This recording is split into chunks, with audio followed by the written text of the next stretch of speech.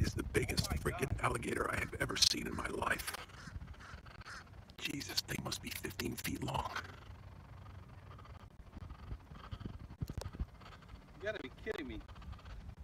Wow, you ever seen anything that big? No, never. I think that's two guys in an alligator suit.